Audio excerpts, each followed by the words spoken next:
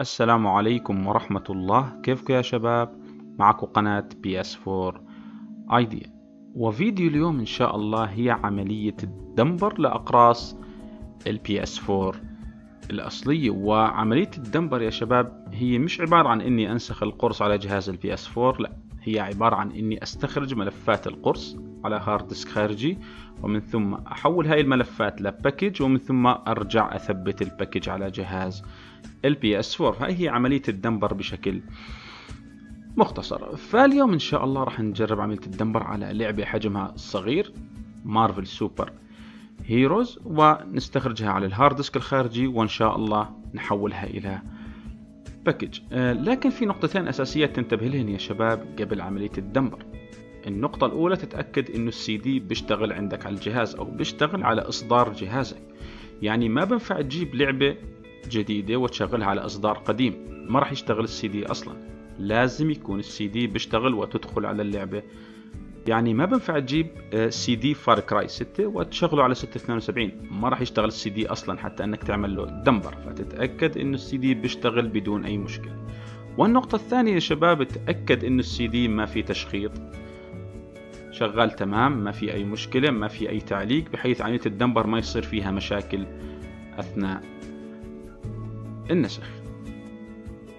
في البداية على جهاز ال PC بنوصل ال hard disk أو ال USB اللي بدنا نستخرج عليه قرص ال PS4 وبنتجه على PC وتأكد يا شباب في البداية إنك مفرمت ال hard أو ال USB بصيغة ال exFAT ما بنفع تعمل dumper على USB أو على hard disk مفرمت FAT 32 لازم الصيغة تكون exFAT النقطة الثانية يا شباب تأكد إنه ال hard disk أو ال USB فيها مساحة قد حجم القرص بمرتين. يعني لو بدك تستخرج قرص حجمه 30 جيجا لازم يكون عندك بال hard disk أو بال USB مساحة 65 جيجا تقريبا لأنه راح تستخرج حجم اللعبة 30 وترجع تبني ال package بنفس حجم اللعبة 30 فانتبه لهاي النقطة ضروري جدا يكون عندك مساحة كافية لحجم اللعبة بمرتين. على جهاز ال PS4 نشوف معلومات اللعبة. راح نلاقي إنه حجم اللعبة 6 جيجا و430 ميجا بايت ومثبت عليها ال update 1.03 طبعا إذا حاب تثبت أي update على السي دي الموجود عندك فالطريقة جدا سهلة. كل اللي عليك يا شباب إنك تتجه لفيديو الخاص ب patch installer واللي بيسمح لك بتنزيل التحديثات فقط من خلال جهاز ال PS4 وملاحظة مهمة التحديثات من ال patch installer فقط للألعاب الأصلية ألعاب السي دي. لا تغلب حالك وتنزل تحديثات لل packageات اللي عندك ما راح تحدث. ففقط للألعاب الأصلية شباب تقدر تثبت أي تحديث بدك إياه من تطبيق باتش انستولر. ففي البداية نشغل اللعبة يا شباب.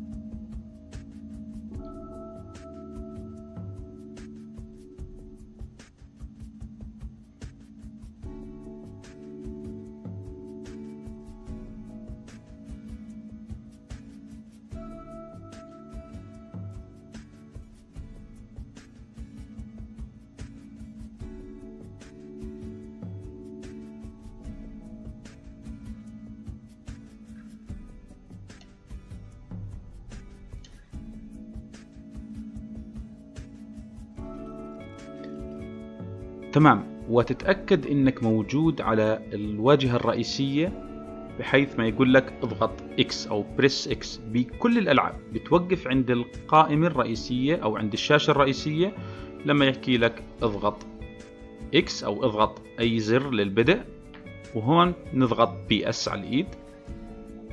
بهذا الشكل يا شباب وبنترك اللعبة شغالة قبل ما أبلش بعملية ال dumper لازم تعمل خطوات جدا مهمة حتى ما تواجهك مشاكل أثناء عملية dumper. ال FTP على جهاز ال PS4 نتجه على جهاز ال PC وعلى برنامج ال FileZilla يا شباب نتصل بجهاز ال PS4 من خلال كتابة ال IP address هون وكتابة رقم ال port هون راح اتصل بملفات جهاز ال PS4 ومن هون يا شباب نتجه على system data تتجه على playgo ومن هون راح تدخل على ال title ID للعبه اللي عندك. طبعا أنا ما عندي غير لعبة واحدة فال ID تبعها موجود. وطبعا حتى تقدر تعرف ال title ID لكل الالعاب اللي عندك حتى ألعاب السي دي كل اللي عليك إنك تفعل ال Orbis Toolbox ومن ثم تفعل خيار ال show title ID ندخل على ال title ID للعبة ومن هون راح تلاقي ملف اسمه pdcopy.ppm هذا الملف لازم تمسحه حتى ما يصير معك مشاكل أثناء عملية ال dumper فكل عليك إنك تضغط click يمين وتعمل delete تمام؟ بهاي الصورة بتقدر تعمل dumper بكل أمان وما بصير معك إن شاء الله أي مشاكل أثناء عملية ال dumper. نرجع لجهاز ال PS4 يا شباب وطبعا ما زالت اللعبة شغالة فنفعل ال bin loader ونتجه على صفحة ال host الموجودة عندنا. نوصل ال hard disk أو ال USB اللي بدنا ننسخ عليها القرص. ومن ثم بتذهب لخيار app dumper وببعض الصفحات راح تلاقي اسمه dumper أو game dumper هي فقط اختلاف أسماء يا شباب لكن نفس الوظيفة. كل اللي راح يعمله ال dumper راح يعمل على استخراج اللعبة وال update المثبت على اللعبة. فكل عليك إنك تضغط X.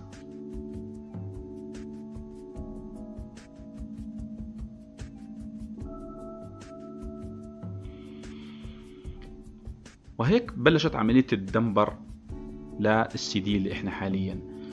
مشغلينه وراح يعمل extract للعبة ومن ثم ل update اللعبة.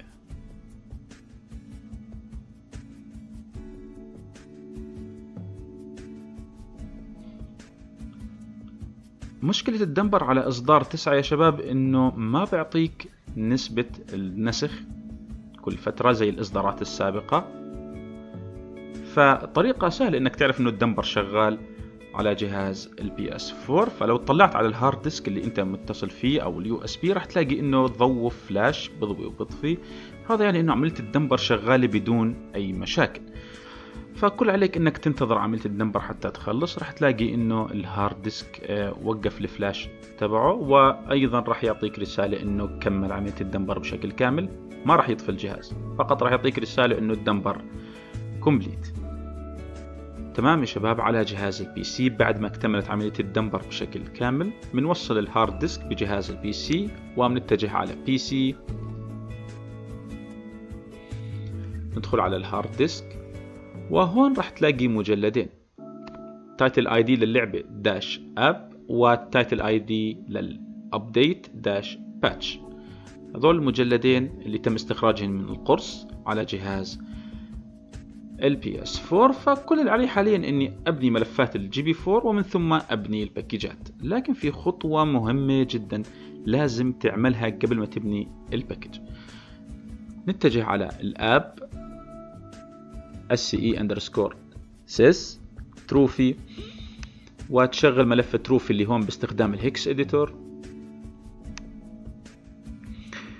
لو اطلعت على النصوص الموجودة هون يا شباب راح تلاحظ إنها نصوص مكتوبة بالإنجليزي وقابلة للقراءة. هذا يعني إنه ملف ال trophy decrypted مش مشفر. لو لقيت ملف ال trophy آه، موجود فيه أحرف متصلة ببعضها البعض وغير قابلة للقراءة فاعرف إنه ملف ال trophy encrypted مشفر.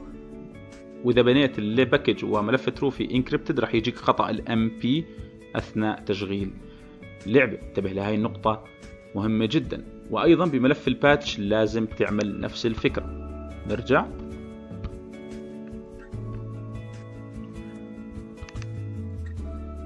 Sce underscore sys.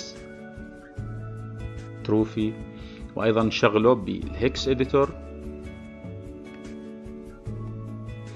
وأيضا لو تلاحظ على النصوص الموجودة هون هي نصوص مكتوبة بالإنجليزي decrypted غير مشفرة. طيب. في حال كانت النصوص مشفرة encrypted عندي ملف trophy. شو الحل؟ الحل بسيط جدا يا شباب فكل عليك إنك تطلع من هون وترجع. وبمجلد ال sce underscore sys بال app وبال patch في ملف اسمه npbind.dat أيضا بتشغله باستخدام ال hex editor تمام عندي الرقم الموجود هون. خليه موجود هون. وحاليا كل اللي علي يا شباب إني أتصل بال FTP على برنامج ال FileZilla تمام شباب هيك اتصلنا بال FileZilla بملفات ال PS 4 ننزل على مجلد user ومن هون نبحث عن مجلد ال trophy config. ولاحظ الرقم الموجود هون هو نفس الرقم الموجود هون NPWR 05341 NPWR 05341 لازم تدخل على نفس الرقم حتى لو كان عندك آه، ألعاب كثير فتعرف الرقم اللعبة اللي أنت عملت لها dumper. تدخل هون وتأخذ ملف ال trophy الموجود هون وتستبدله بملف ال trophy الموجود باللعبة اللي أنت استخرجتها على ال hard disk بنفس الاسم. فكل اللي علينا يا شباب ان نسحب ملف ال trophy لهون بهذا الشكل. ومن ثم تأخذ اسم ال trophy الأصلي من هون. بهذا الشكل copy وتعيد تسميته بنفس الاسم وتمسح الملف الأصلي. هيك بتكون أنت نقلت ملف ال decrypted الملف الغير مشفر على اللعبة اللي أنت استخرجتها. فلا تبني ملف ال package وملفات ال trophy encrypted ما راح تشتغل معك اللعبة وراح يعطيك خطأ. حاليا يا شباب نتجه على برامج ال fake package tools وفي البداية راح نبني ال app دائما لازم تبني اللعبة الأساسية اللي إصدارها واحد ومن ثم تبني ال update فنتجه على gen GP4 app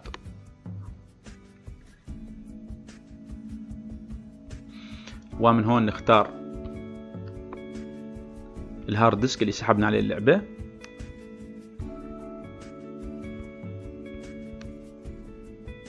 مجلد اللعبة app. Okay.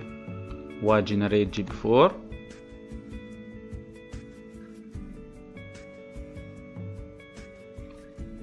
تمام. أعطاني done وبعمل save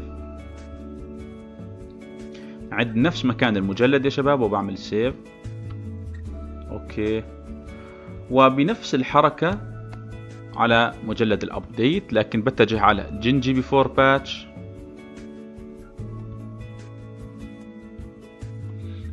وبنختار مجلد ال patch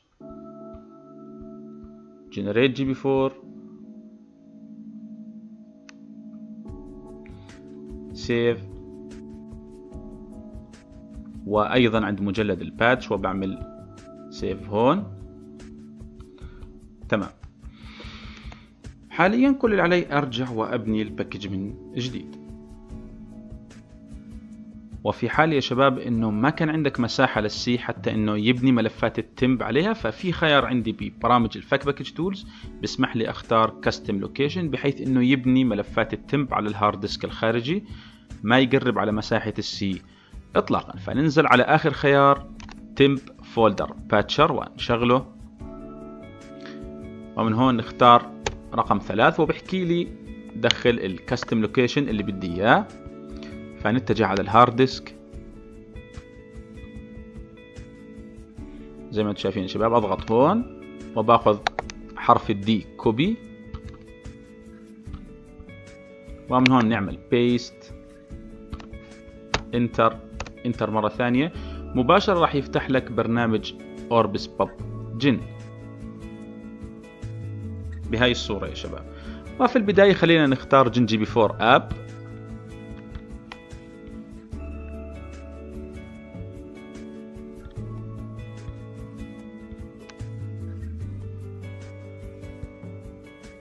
بهذا الشكل ومن هون نعمل build اختار مكان الحفظ.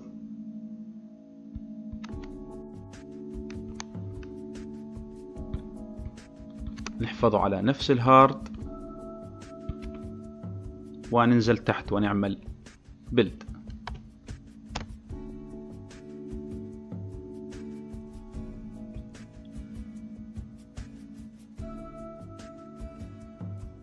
تمام شباب وحاليا خلص بناء ال package بشكل كامل فنعمل close نطلع نتجه على ال hard disk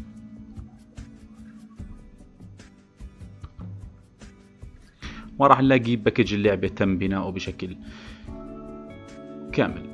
وبنفس الخطوات يا شباب نرجع ونبني ملف ال update نتجه على برامج ال fake package tools وطبعا بنفس الطريقة يا شباب إذا كان عندك ملف ال update حجمه كبير تقدر تتجه على ال custom location وتختار ال hard disk الخارجي. فأنا بدي أروح مع ال gen مع orbis pub gen مباشرة.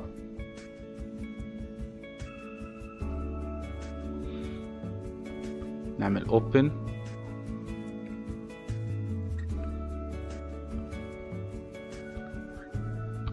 نتجه على ال hard وبنختار gen GP4 أو ملف ال GP4 الخاص بال patch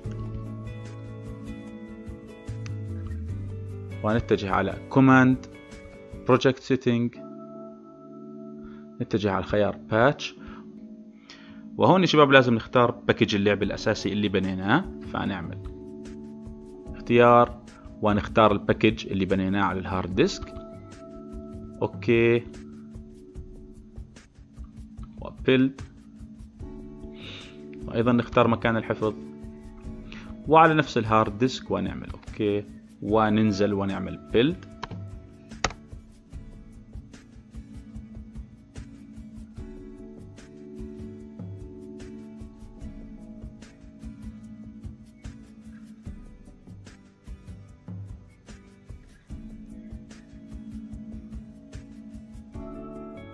تمام؟ هيك كمل بناء package ال update بشكل كامل بنسكر من هون.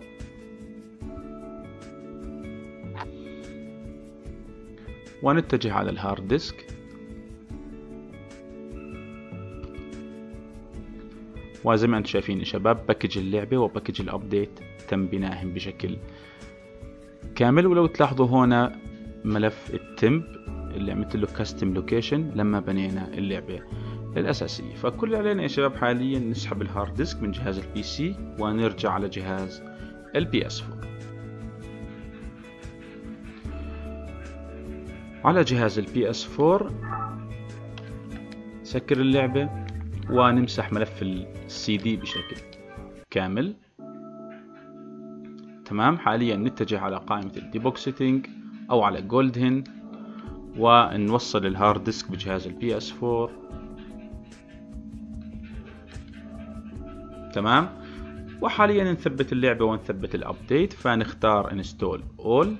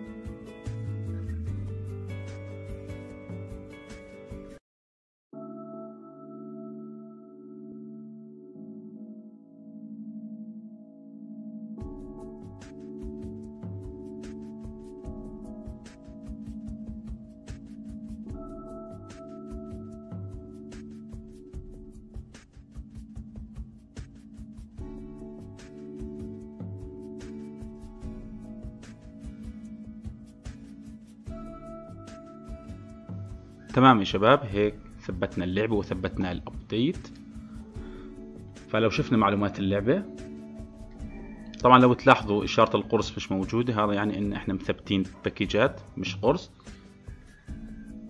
ال update واحد فاصلة صفر ثلاث وستة جيجا وميتين وتسعين ميجا بايت نشغل اللعبة.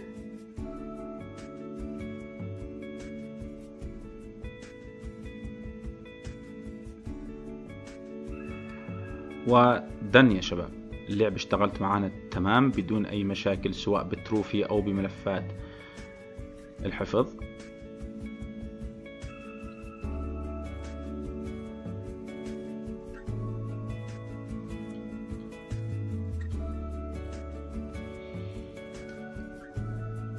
تمام وزي ما أنتم شايفين رجعنا على الواجهة الرئيسية اللي كنا عليها. لما كنا مشغلين السي دي طبعا تقدر تلعب load game new game تختار اللي بدك إياه. وبهاي الطريقة يا شباب تقدر تنسخ أي قرص PS 4 على hard خارجي ومن ثم تحوله ل package وترجع تثبته على جهاز ال PS 4 اللي عندك. فهاي هي فكرة ال dumper على PS 4 إصدار 9 وطبعا نفس الفكرة على جميع الإصدارات. فإن شاء الله إنه هذا الشرح يفيدكم يا شباب. سلام عليكم.